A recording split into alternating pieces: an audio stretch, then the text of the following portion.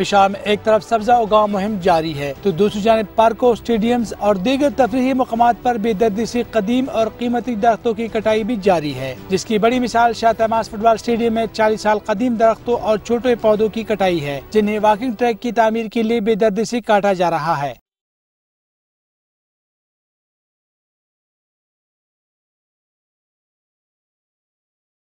Stadium میں ایک کروڑ چتیس لاکھ روپے کی لاگت سے واکنگ ٹریک بنایا جا رہا ہے، جس کی راہ میں یہ قیمتی اور قدیم درخت حائل تھے۔ ٹھیکیدار نے نقشے میں تبدیلی کے بجائے ان درختوں پر آرا چلانے کو ہی بہتر سمجھا۔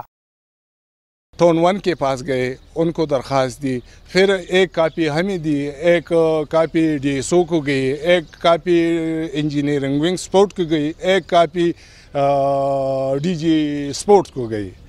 ٹھیکیدار کی جانب سے انتظامیہ کو درختوں کی کٹائی کے لیے خط بھی ارسال کیا گیا تھا، جس کا کوئی جواب نہیں دیا گیا۔ محکمہ کھیل کے حکام کے مطابق کھیلوں کی مثبت سرگرمیوں کے لیے یہ اقدام ضروری تھا۔ اس میں ایک دو ڈیڈ ٹریز آ رہے تھے، وہ کنٹریکٹر نے کاٹے ہیں۔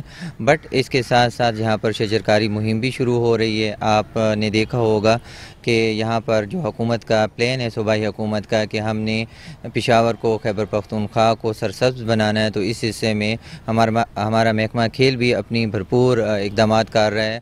دوسری جانب ٹاؤن انتظامیہ نے بغیر اجازت درخت کاٹنے پر ٹھیکیدار کے خلاف ایف آئی آر کے اندراج کے لیے فقیر آباد پولیس کو درخواست دے دی ہے۔ کیمرہ مین کامرا پراشا کے ساتھ مسرت اللہ، دنیا نیوز پشاور۔